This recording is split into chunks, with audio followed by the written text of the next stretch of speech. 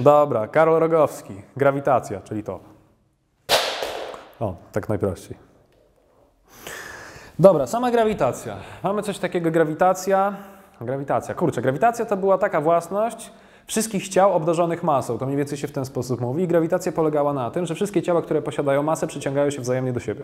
Ale, wiem, że to głupie brzmi, ale my też się do siebie przez cały czas przyciągamy. Wszyscy, wszystko, wszystkie obiekty, które tutaj są, tylko że nie czujemy tego, dlatego że masa Ziemi jest tak ogromna, że nie czuć tego. ok? O, taka by była, jakby to wszystko zniknęło. O, taka, o, taka, to, to, to, to. Tak by było, jakby zniknęła masa Ziemi, wszystko by się do siebie przykleiło.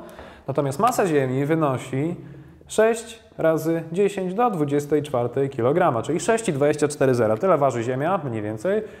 Średnio oczywiście, bo przeczytałem jakąś taką ciekawostkę, że około, że na dobę Ziemia przybiera około 400 ton masy, dlatego że pył kosmiczny przez cały czas opada. Coś takiego gdzieś kiedyś przeczytałem. Może pomyliłem dane, ale jakoś tak. Dobra, czyli wszystko, co posiada masę, się wzajemnie do siebie przyciąga. My tego nie czujemy, dlatego że Ziemia ma bardzo ogromną masę w stosunku do naszych mas, ale gdyby Ziemi nie było, to wszystko by zrobiło tak. Mniej więcej, nie? Dobra. No to co? Grawitacja. Prawo powszechnego ciążenia to jest taka pierwsza rzecz, o jakiej się mówi z reguły w grawitacji. Prawo powszechnego ciążenia mówi, że siła przyciągania grawitacyjnego między dwoma ciałami jest wprost proporcjonalna do iloczynu mas tych ciał i odwrotnie proporcjonalna do kwadratu odległości między nimi. Tak mniej więcej to brzmi. Czyli siła grawitacji to jest jakaś tam stała, duże G, 6,67 razy 10 do minus 11 i newton metr kwadrat na kilogram kwadrat. Ale super. Razy masa źródła, czyli na przykład masa Ziemi, załóżmy, że to jest Ziemia, a to jest orbita, po której porusza się satelita. O. Dobra. Czyli stała grawitacyjna razy masa Ziemi razy masa satelity podzielona przez kwadrat odległości między nimi. A, z tym, że tu się przyjmuje od środka. Tu ja popełniłem błąd, tu się przyjmuje od środka bardzo często. Dobra.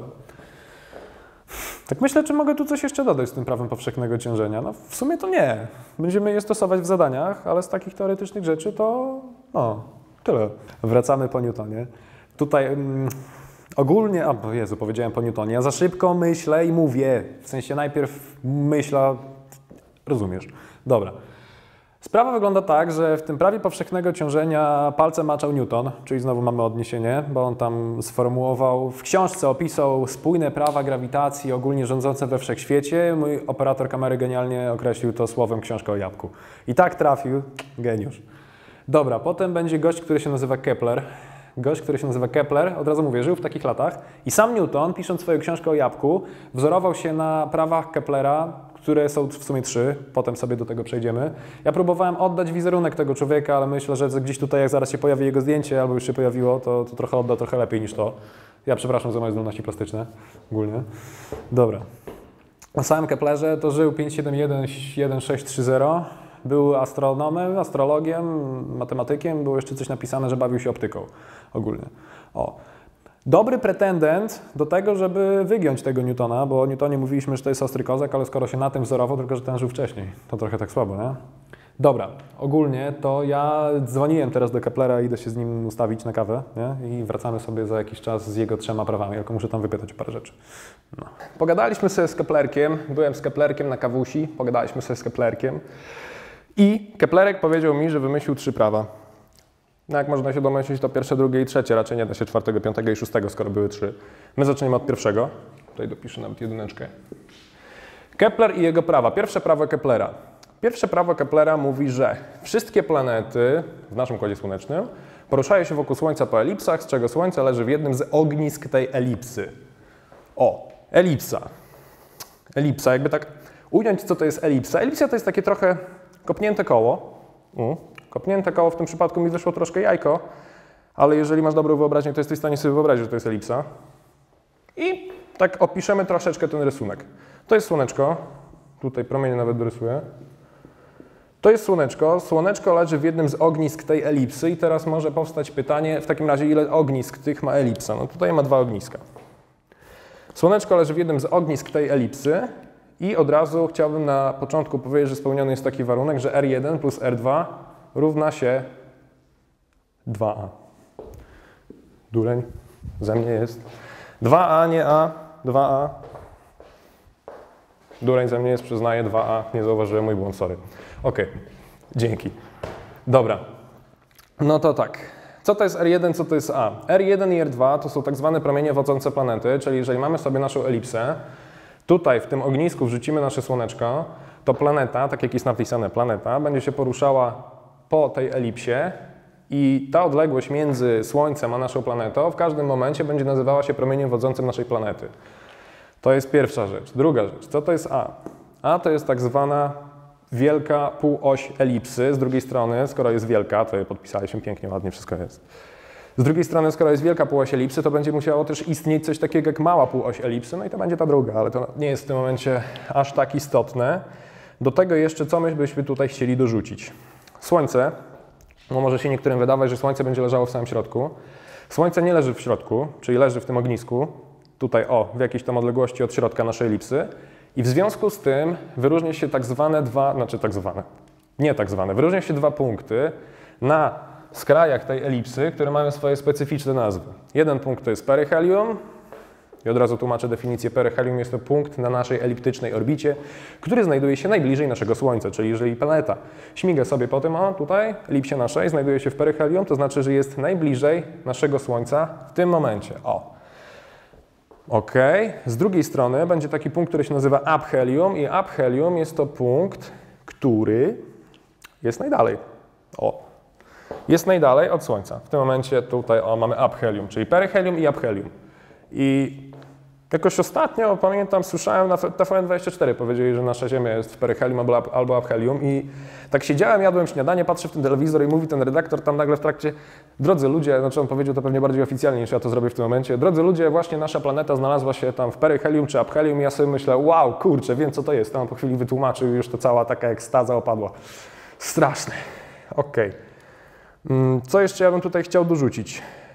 Ta odległość A jest odległością średnią, w tym przypadku, czyli nasza wielka półoś elipsy jest odległością średnią, tutaj więcej nie ma co dodawać o pierwszym prawie Keplera. Tak naprawdę wszystkie planety krążą wokół Słońca po elipsach, takich lub innych, czyli jakby bardziej przekoszonych w tą bądź w tamtą. No i tyle. Przechodzimy sobie do drugiego. Drugie prawo Keplerka. Drugie prawo. A w ogóle nie powiedziałem jednej rzeczy. Ja kiedyś myślałem, że Kepler to była kobieta, ale potem zdałem sobie sprawę, że jednak nie, bo wklepałem w biografię tam Kepler i się okazało, że, że jednak to nie była kobieta. I takim tam słowem wstępu, drugie prawo Keplera. Drugie prawo Keplera mówi nam, że promień wodzący planety w równych odstępach czasu zatacza równe pola.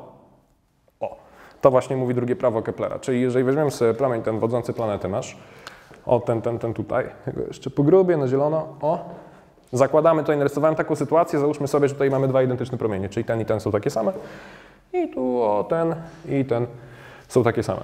I to prawo nam mówi, że jeżeli planetka nasza będąc tutaj o, czyli przemieszczając się po naszej elipsie w ten sposób, zatoczy ten promień jakieś tam pole w równym odstępie czasu, czyli na przykład, nie wiem, przez dwa tygodnie, trzy tygodnie. O, to jest oczywiście niezachowana skala, żeby ktoś się do mnie nie przyczepił, że jest brak skali. I ta sama planetka, poruszając się tutaj o, po drugiej stronie, przypominam, tu było aphelium, tam było peryhelium, ta sama planetka poruszając się tutaj o, zatoczy w tym samym odstępie czasu, czyli te trzy tygodnie, dwa tygodnie, tak jak powiedzieliśmy sobie, a właściwie ja powiedziałem, zatoczy nam takie samo pole. Żeby policzyć to pole, trzeba by było się już trochę nagimnastykować i znać całki, bo takimi zwykłymi licealnymi, prostymi wzorami to raczej tego pola się tak łatwo nie policzy, prawdopodobnie. Ale jakbyśmy już to znali, to możemy takie coś zastosować. Z drugiej strony natomiast możemy tutaj zastosować zasadę zachowania momentu pędu. Jeżeli ktoś jeszcze nie wie, co to jest zasada zachowania momentu pędu, to zapraszam do filmów z bryły sztywnej na przykład. Zasada schowania momentu pędu, żeby w ogóle to wykorzystać, moment pędu to było to, m razy v razy r, bądź i razy omega, ale to na razie nie ma znaczenia. To po rozpisaniu jest m razy v razy r. I teraz zwracam uwagę na to, jak ja piszę. To jest v, a to jest r, dlatego że niektórzy mogą się pogubić. To jest v, a to jest r. Ten moment jest zachowany przy założeniu, że cały ten układ, planeta, Słońce, tworzy układ odosobniony, czyli tak naprawdę nie uwzględniamy istnienia innych planet, całym tym dziale nie uwzględniamy istnienia innych planet w danym momencie, kiedy rozpatrujemy układ, bo jeżeli byśmy się zastanawiali nad tym, że w tym momencie oprócz Ziemi jeszcze są Jowiszy, Saturny, Neptuny i tak dalej, to wszystkie obliczenia by nam się po prostu nie zgadzały, więc to jest jednym wielkim uproszczeniem. Ale wracając do tematu, przy założeniu, że cały ten układ tworzy układ odosobniony i środek masy całego tego układu pokrywa się ze środkiem masy Słońca, otóż, teraz chcę taką jedną rzecz powiedzieć. Masa Ziemi to jest 6 razy 10 do 24 kg, pamiętam jeszcze liczbowo, natomiast masa Słońca to jest więcej, ale ile więcej to nie powiem, bo nie wiem, nie pamiętam. W każdym razie jest coś takiego, to o wiele więcej. Załóżmy, że o wiele więcej. W związku z tym odnosząc się do tych filmów o środku masy, środek masy całego układu, jeżeli chcielibyśmy gdzieś tam wyznaczyć punkt, w którym byłaby skupiona cała masa naszego układu, byłby przesunięty w stosunku do środka Słońca w tą stronę, gdzie jest dana planetka.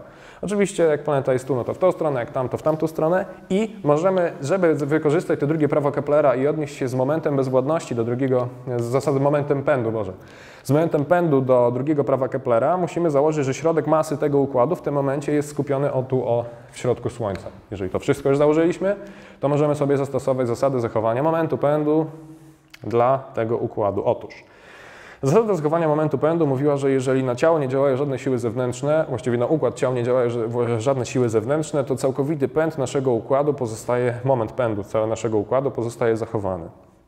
Czyli m razy v razy r TMK to jest masa naszej planety. Mamy przez cały czas tą samą planetę, czy jesteśmy w tym punkcie, czy jesteśmy w tym punkcie. Zatem ja tej masy nie indeksuję, bo nie miałoby to żadnego sensu. Czyli masa jest niezindeksowana. Potem mamy V1 i R1. V1 to jest prędkość w punkcie tam pierwszym, czyli tam. O tutaj. Niech będzie, że tak o, tu było V1. A R1 to jest promień wodzący naszej planety w tamtym punkcie. I z zasady zachowania momentu pędu możemy sobie napisać, że to równa się temu. Ja stąd sobie mogę skrócić masę, dlatego że powiedzieliśmy, że jest to to samo ciało, tą samą masę, czyli w równaniu możemy tą masę sobie po prostu wywalić. Otrzymujemy V1R1 równa się V2R2. I to ma zawsze jakąś tam wartość zachowaną. Czyli teraz tak na logikę jakby się zacząć zastanawiać, to pytanie do Ciebie, droga osoba, która siedzisz przed telewizorkiem, ekrankiem, monitorka, jeżeli tu mamy większy promień, tu mamy mniejszy promień, to ja teraz zadam Tobie pytanie, gdzie będzie większa prędkość, a gdzie będzie mniejsza prędkość, jeżeli ten iloczyn tutaj ma jakąś tam wartość zachowaną mieć. O, ten iloczyn tutaj ma jakąś wartość zachowaną mieć. Czyli jeżeli, teraz sobie odpowiedz w głowie, ja jeszcze pogadam o jakichś rzeczach po drodze, bo czasem że lubię sobie pogadać.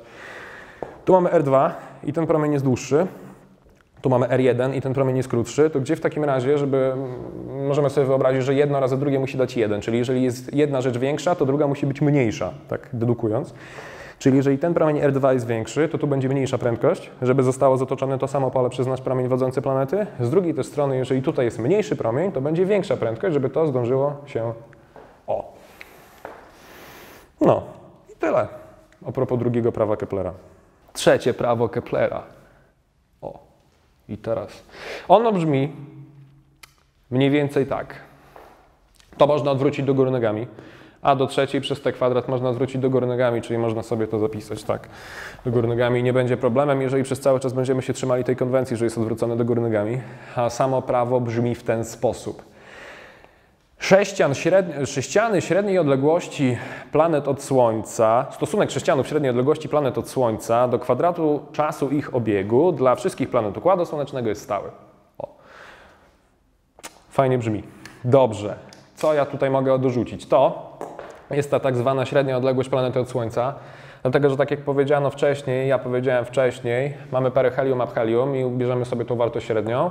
Jak ją podniesiemy do kwadratu i podzielimy przez kwadrat czasu obiegu wokół Słońca, czyli ten okres jakby, czas jednego pełnego obiegu, dlatego jest duże T, bo T to było okres, podniesiemy to do kwadratu i podzielimy jedno przez drugie, to z jakimś tam super przybliżeniem dokładnym, bądź bardziej, bądź mniej, wyjdzie nam, że wszystkie planety taką zależność naszego Układu Słonecznego mają zachowaną. Ok, co ja bym jeszcze chciał tutaj dorzucić? Dorzucić chciałbym to, że bardzo często to się podaje w latach, albo i nie, ale często podaje się to w latach.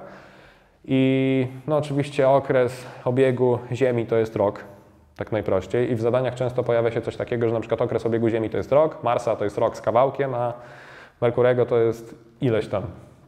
Natomiast e, sześcian średniej odległości od Słońca naszej planety wyraża się w takim czymś jak ja czyli jednostka astronomiczna. Nie ja, ty, on i tak dalej, tylko jedna jednostka astronomiczna. Jedna jednostka astronomiczna to jest 149,6 razy 10 do 6 km.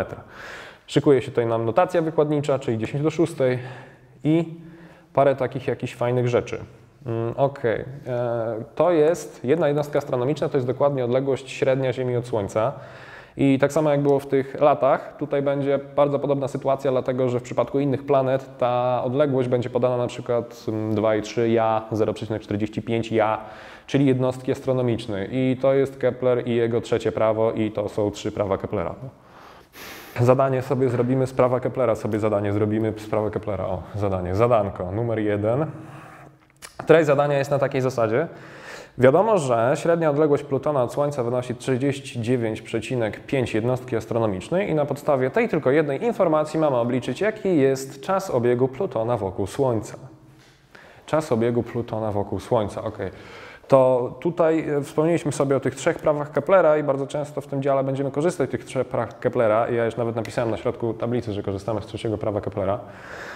Jednocześnie wiadomo, że A Plutona, nie podpisałem indeksu, A Plutona to jest 39,5 jednostki astronomicznej i w tym przypadku jesteśmy w stanie bardzo ładnie i szybko skorzystać z naszego trzeciego prawa Keplera. I powtórzę jeszcze raz trzeciego prawa Keplera, żebyście zapamiętali nazwę.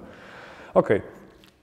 To tak, trzecie prawo Keplera mówiło nam, że sześcia, stosunek sześcianu średniej odległości od Słońca do kwadratu czasu i jego obiegu planety wokół Słońca jest stały. Czyli dla Plutona i dla Ziemi będzie to samo. Otóż, dlaczego powiedziałem, że dla Ziemi? Dlatego, że jeżeli mamy podaną tylko informację w postaci 39,5 jednostki astronomicznej dla Plutona, a wiadomo, że jedna jednostka astronomiczna, czyli jeden ja, to jest e, ta średnia odległość naszej Ziemi od Słońca, plus wiemy, że Ziemia wokół Słońca biegnie dokładnie przez rok i my chcemy, chcemy policzyć sobie czas obiegu Plutona wokół Słońca, wokół Słońca w latach, to musimy to odnieść do Ziemi, po to, że już mamy z tej Ziemi jakieś konkretne informacje, które możemy tutaj wykorzystać. I to właśnie zrobimy.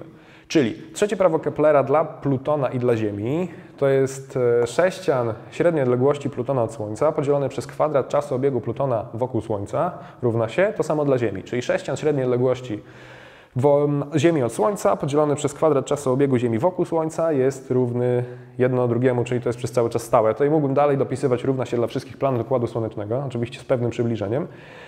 Przy czym też jednocześnie zauważyć trzeba fajną rzecz. Jeżeli średnia odległość Ziemi od Słońca to jest jedna jednostka astronomiczna, a czas obiegu wokół Słońca Ziemi to jest też e, jeden rok, znaczy też, no jeden rok, to będziemy mieli jeden przez jeden, czyli się będzie łatwo liczyło, to to chciałem powiedzieć. Ok, to co, przekształćmy sobie ten wzorek.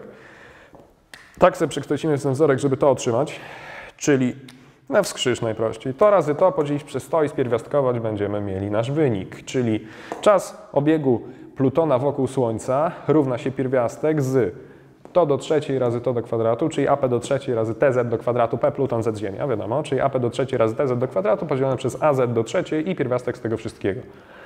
Hmm, dorzucę taką jedną rzecz od siebie. Otóż jak na razie w tym dziale liczby są ładne, bo robimy pierwsze zadanie, ja robię pierwsze zadanie.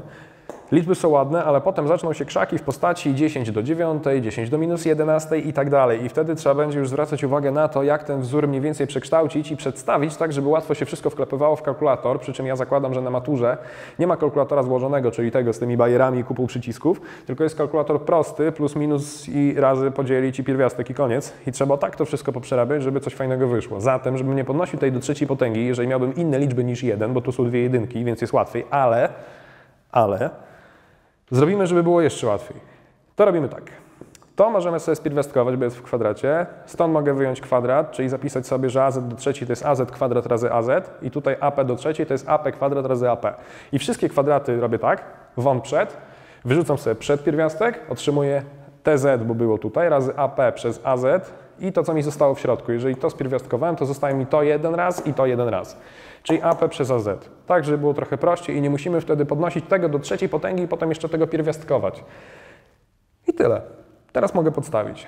Czas obiegu Ziemi wokół Słońca to jest jeden rok, czyli podstawiam jeden rok tutaj dla Ziemi, razy średnia odległość mm, Plutona od Słońca, czyli tutaj, tu, tu, tu, tu, tu, Średnia odległość Plutona od Słońca AP to jest 39,5 jednostki astronomicznej. Podzielisz przez średnią odległość Ziemi od Słońca, czyli 1, jedna jednostka astronomiczna i razy to, co jest pod pierwiastkiem, średnia odległość Plutona od Słońca, czyli 39,5 jednostki astronomicznej i podzielisz przez średnią odległość Ziemi od Słońca, czyli 1. Jeżeli to wszystko policzymy, to wyjdzie na 248,25 roku. W stosunku do roku ziemskiego oczywiście, bo jeżeli byśmy to odnosili do roku na Marsie, to by było w stosunku do roku na Marsie, ale odnieśliśmy do, do, do roku na Ziemi, więc jest do roku na Ziemi i tyle właśnie wynosi czas obiegu Plutona wokół Słońca w stosunku do lat ziemskich. Bardzo proste zadanie. O, dziękuję. Przedstawię Ci zadanie o kulkach. Właśnie, tylko zadanie o kulkach. Tu mamy dwie kulki. Są dwie kulki. Są dwie kulki. I z tymi kulkami to jest tak, że one się przyciągają pewną siłą. Przyciągają się pewną siłą F, równą 5,5 razy 10 do minus 6 newtona. O, czyli tam mamy F 5,5 razy 10 do minus 6 newtona i wiadomo, że jedna druga kulka ma masę 100 kg. Mamy obliczyć w jakiej odległości od siebie te kulki się znajdują. Z czego skorzystamy? Sprawa tego naszego grawitacji, które zostało przedstawione na początku filmu o grawitacji, mówiące o tym, że siła wzajemnego oddziaływania grawitacyjnego między dwoma ciałami równa jest naszej stałej, równej zaraz powiem ile, razy iloczynowi mas przez kwadrat odległości między naszymi ciałami. Czyli w tym przypadku bierzemy do dwie kulki, bierzemy ich masy i mamy obliczyć sobie te r kwadrat. O, w tym przypadku m1 równa się m2 równa się m. Ja to uogólniłem dla łatwiejszego zapisu i po to, żebym to mógł sobie tutaj podnieść do kwadratu, żeby było przyjemniej. I podstawiam i przekształcam i zobaczę, co muszę zrobić. A otóż wzór jest podany na f, a ja chcę r, czyli muszę ten wzór tak przekształcić, żeby dostać wzór na r. Czyli zamieniam r z f. -ką. Najszybciej by było powiedzieć, że mnożę razy r kwadrat, dzielę przez f i pierwiastkuję. Ja wiem, że ja szybko przerabiam te wzory, ale nie lubię tutaj się rozciągać z tym. R równa się pierwiastek z gm przez f, gm kwadrat przez f, pierwiastek z tego wszystkiego. No to skoro już mamy wzór takiej postaci i widać, że to jest wzór na r i wszystko mamy podane, to możemy sobie ten wzorek wziąć i popodstawiać wszystko do niego. To podstawiamy. Pierwiastek przypisuję, żeby było łatwiej. Stała nasza grawitacji 6,67 razy 10 do minus 11 newtona metr kwadrat na kilogram kwadrat. Polecam pamiętać jednostkę, dlatego, że, albo zaraz powiem dlaczego. To mnożymy razy masę podniesioną do kwadratu, czyli 100 kg do kwadratu i dzielimy przez siłę działającą między tymi kulkami, czyli 5,5 razy 10 do minus 6 newtona. Podstawiłem to w tym miejscu. Dobrze. I teraz jest taki moment, kiedy ja Tobie chcę powiedzieć parę takich ważnych rzeczy dotyczących tutaj już rozwiązywania takiego typu zadań na maturce, dlatego że fajnie by było, bierzemy sobie kalkulator, nawet pokażę jaki, nie będzie. Bierzemy sobie taki kalkulator, czyli ten taki skomplikowany bardziej, Oczywiście nie zawiera film lokowania produktu, nie? żeby nie było. Bierzemy sobie taki kalkulatorek, mój osobisty i możemy sobie to wszystko w niego wklepać, tutaj powstawiać, pach, pach, potęgi, pierwiastki, czyli o na przykład 6,67 razy 10 do minus tam 11, razy mamy 100 do kwadratu, 100 do kwadratu, dzielimy przez 5,5 razy 10 do potęgi minus 6. Ja pokażę do kamery, żeby nie było. Wklepałem wszystko naraz, bo ten kalkulator umożliwia wklepanie wszystkiego naraz. Widać? Widać. No to super. Pach i on nam wypluwa wynik. Nawet się zgadza, 0,35 metra z jakimś tam dokładnym przybliżeniem. No i teraz jest pytanie, czy my coś takiego możemy zrobić na maturze? Nie. Nie możemy czegoś takiego zrobić na maturze, czyli trzeba się nauczyć, jak takie rzeczy o liczyć. To jest oczywiście jeszcze proste działanie, dlatego chciałbym najpierw pokazać na prostym działaniu, jak takie rzeczy liczyć na prostym kalkulatorze żeby nie trzeba było tego wszystkiego wklepywać, jak to przerobić, żeby nam to wyszło. Pierwsze, od czego musimy zacząć i co musimy umieć, to są prawa działań na potęgach, czyli musimy pamiętać, że jeżeli mamy dwie potęgi o takiej samej podstawie, czyli a do kwadratu razy a do trzeciej, to w tym momencie te dwie rzeczy się do siebie dodadzą, czyli będziemy mieli a do piątej, natomiast przy dzieleniu a do kwadratu przez a do trzeciej odejmujemy od góry dół, czyli będzie a do minus pierwszej. To takie rzeczy trzeba pamiętać i to wykorzystywać w przypadku tej notacji wykładniczej, czyli na przykład tutaj mamy 10 do minus 11, potem jest razy 100 do kwadratu. I teraz e, ja sobie to zastępuję jako 10 do kwadratu, dlatego że samo 100 to jest 10 kwadrat i jeszcze jest do kwadratu, o, i w tym przypadku, kiedy mamy potęgę podniesioną jeszcze do kwadratu, to te dwie rzeczy się ze sobą mnoży i otrzymujemy w tym przypadku 10 do czwartej. I jeszcze szybciej przeskoczyłem, dlatego że mieliśmy 10 do minus 11 razy 10 do potęgi czwartej, minus 11 plus 4 to jest minus 7. O, czyli zawsze dążymy do tego, wnioskiem, tutaj mówiąc, zawsze dążymy do tego, żeby w liczniku oddzielnie i w mianowniku oddzielnie dostać wynik, jakiś tam licznikowy i mianownikowy, w, takim, w takiej postaci, żeby oddzielnie była ta liczba z przecinkiem, czyli na przykład 6,67. Jeżeli tu byśmy mieli jakieś inne liczby, to oddzielnie trzeba by było pomnożyć te liczby z przecinkiem, czyli na przykład 6,67 razy by było, nie wiem, jakieś 2, 4 8, to byśmy to mnożyli oddzielnie. Natomiast to z notacji wykładniczej, czyli 10 do minus 11 razy tamte 10 do 4 wychodzi 10 do minus 7 i zapisujemy oddzielnie. Czyli zawsze starać się doprowadzić do takiego wyniku, jak tutaj pokazałem w liczniku. W mianowniku mamy uproszczoną sprawę, dlatego że jest już podane w takiej postaci, czyli 5,5 razy 10 do minus 6. Następnie to, co robimy na prostym kalkulatorze, to podzielenie tego przez to oddzielnie, czyli 6,67 przez 5,5 oddzielnie, wyjdzie jakieś jeden coś tam, coś takiego. I to też liczymy oddzielnie, czyli 10 do minus 7 podzielić przez 10 do minus 6, czyli od góry odejmujemy dół, czyli tak naprawdę to będzie minus 7 minus, minus 6 dla mniej wprawionych, czyli minus 1, nie?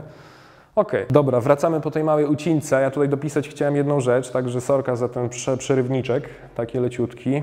E, Skreśliłem wynik, przepisałem go dalej, bo chcę pokazać jedną taką fajną rzecz. Powiedziałem, że to liczymy oddzielnie, czyli 6,67 przez 5,5 dzielimy sobie oddzielnie, wychodzi 1,21, natomiast z tego wyjdzie 10 do minus pierwszej, czyli minus 7 minus minus 6 będzie minus 7 plus 6, czyli 10 do minus pierwszej. I teraz taka ważna rzecz, pytanie w Twoją stronę. Czy to da się ładnie spierwiastkować na zwykłym kalkulatorze prostym? Zaznaczam na kalkulatorze prostym. W pewnym sensie się da, ale można prościej. O, taka tutaj wymijająca trochę odpowiedź. Jak można prościej? Jeżeli tutaj nie mamy parzystej potęgi, to wtedy mm, jakby była potęga 10 do minus drugiej, to wiadomo, że pierwiastkiem by było 10 do minus pierwszej. Jakby była potęga, nie wiem, 10 do minus czwartej, to by było 10 do minus drugiej, czyli to jest łatwe. 10 do szóstej to by było 10 do trzeciej. Z matmy dorzucimy taką rzecz. Jeżeli nakładamy na coś pierwiastek, czyli nakładamy pierwiastek na a, to jest to samo co a do jednej drugiej. Może się przydać czasem. Wiem, że na matmie powinno być wspomniane, ale tak sobie dorzućmy.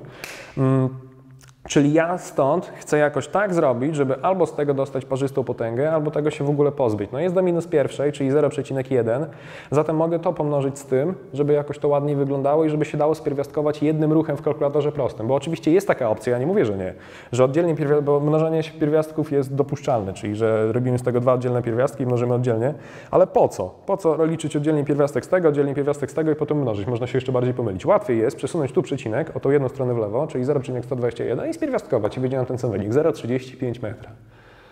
Uff, się nagadałem. Ok, czyli jeżeli mamy kulki, które działają na siebie siłą, bardzo mała siła jest zaznaczam, 5,5 razy 10 do minus 6 newtona to jest no, naprawdę mała siła, biorąc pod uwagę, że jeżeli ja ważę na przykład 87 kg, to waży, to znaczy masa 87 kg, to waży 870 newtonów, czyli sam ciężar już jest bardzo duży w porównaniu do tego. To mniej więcej daje obraz, jak wygląda wielkość, wartość danej siły przy jakiejś tam odległości 0,35 metra dwóch kulek o masie 100 kg. To dlatego na początku powiedziałem, że wszystko na siebie oddziałuje siłami i wszystko się przyciąga, ale my tego nie czujemy, dlatego że masa Ziemi jest tak ogromna, że Ziemia przyciąga nas wszystkich do siebie. Czyli znowu, cofając się, grawitacja to nie jest to, że długopis spada na podłogę, tylko to, że my się przyciągamy z, z Ziemią i ona nas przyciąga, a my ją w pewnym sensie. Dobrze, czyli to już policzyliśmy. I teraz chciałbym jeszcze pokazać, przekształcenie jednostek. Radzę pamiętać, sta, nie, pamiętać w sumie nawet nie trzeba, dlatego że ta stała jest podana na karcie wzorów dołączonej przez CKE na maturę, także jak coś, to ta stała jest tam, jest tam taka kolumna ze stałymi i tam jednostki są podane, więc bez problemu, ale trzeba jednostki umieć przekształcać, bo są czasem zadania na maturze, ja jak pisałem maturę, to miałem takie zadanie, przyznaję się, że trzeba było jednostkę tą przekształcić i nie zepsułem to zadanie. Ok. Czyli przekształcamy sobie tak, żeby dostać jednostkę tego promienia, czyli wrzucamy nasz symbol w nawiasy kwadratowe, czyli RK w nawiasach kwadratowych równa się pierwiastek. Jednostka naszej stałej grawitacyjnej, o tu jest, jednostka naszej stałej grawitacyjnej to jest newton metr kwadrat na kilogram kwadrat, newton metr kwadrat na kilogram kwadrat razy masa do kwadratu, czyli kilogramy w kwadracie, podzielone przez siłę, czyli newton. I teraz tak, te kilogramy z tymi kilogramami się upraszczają, ten newton z tym newtonem się upraszcza, pierwiastkujemy metr do kwadratu, bo to nam zostało i wychodzi metr. No i koniec. No. Znalazłem taki fajny wycinek, kawałek informacji, notatki, trochę wstępu teoretycznego, gdzie zaznaczam na początku, że to jest tak ważne, że aż o tym powiem, a na koniec dodam jeszcze jedną rzecz, która sprawi, że to będzie jeszcze ważniejsze. Masy mamy. Masy mamy. Znalazłem taki wycinek w tych wszystkich informacjach, z których tutaj prowadzimy te filmy, materiały. W swoich materiałach znalazłem, że istnieją dwa rodzaje mas. Jest to masa grawitacyjna i masa bezwładna. Masa grawitacyjna jest to masa, którą używamy w dziale związanym z grawitacją i mówi nam o tym, jak wielka siła będzie działała na dwa przyciągające się do siebie ciała jakąś tam masą. To jest a propos masy grawitacyjnej, a masa bezwładna to była masa, która była używana w tych działach z pędem, z tą dynamiką i tak dalej i mówiła nam o tym, jak e, trudno jest ruszyć dane ciało z miejsca, masa bezwładna, czyli im ciało było cięższe, z tym mniejszym przyspieszeniem by się poruszało w momencie, kiedy działalibyśmy na to ciało jakąś siłą.